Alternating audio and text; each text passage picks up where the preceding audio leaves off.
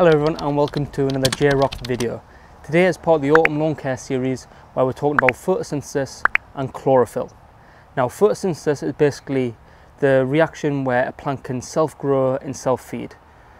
If you forgot then try and think back to them science days, science class days as a kid where photosynthesis is basically where you get it from three main areas for a plant and it's the light from the sun, carbon dioxide from the air and it's water from the soil okay, usually uptaken by the roots. Now, this photosynthesis takes place in a region of the plant called chloroplasts. Now, without going into this too much, there's a structure within them cells that produces chlorophyll. Now, chlorophyll is really important because it's the region where it creates a green in the plant. Now, it, the plant intakes all this sort of stuff. You're now thinking, well, what does it give out? Simply, just like a tree, it gives out oxygen.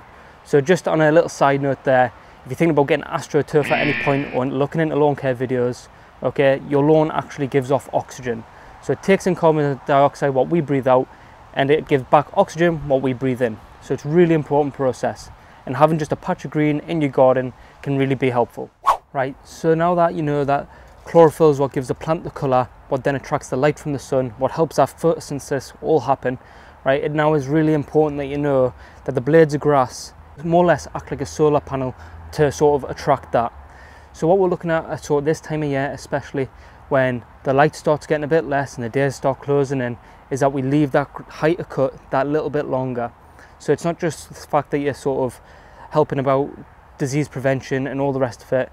Having that longer sort of height of cut is also going to help this process of photosynthesis and chlorophyll and then intend sort of help the colour stay for that little bit longer throughout the winter.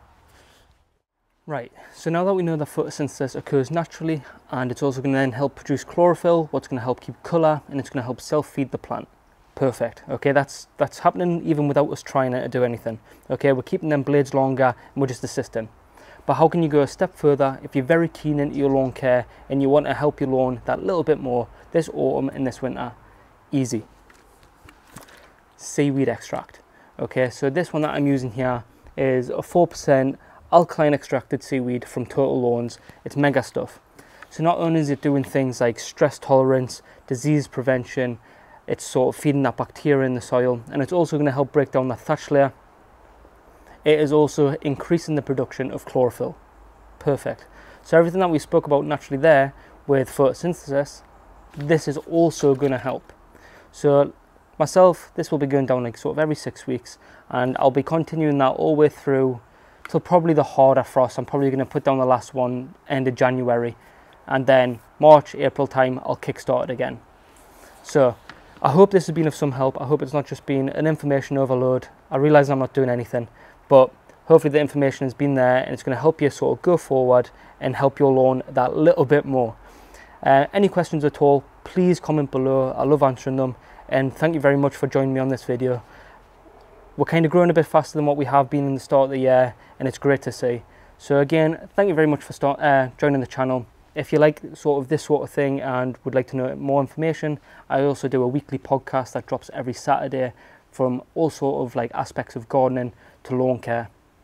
And you can find that on Spotify, Google, uh, iTunes, all the rest of it.